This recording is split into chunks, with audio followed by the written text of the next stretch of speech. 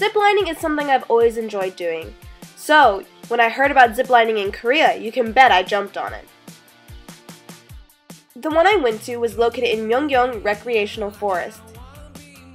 It was a 9 course zip line for 50,000 won. This equates to about $50. The course starts at the top of the hill and each course gets more advanced. I had a friend who was completely scared of this kind of thing, and this was great because it eased her into it. While she started out as a scaredy cat, barely inching forward off the platform, by the end she was running off the platform laughing and joking.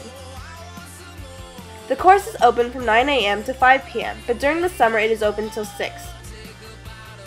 I have to assume that a lot of it is also based on weather, so call ahead to make sure they're open.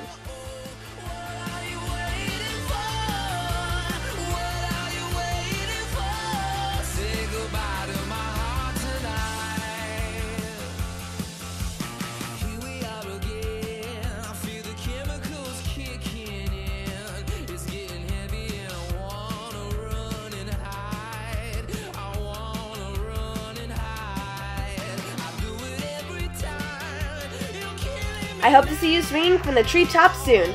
This is the Traveling Kimchi. Bye!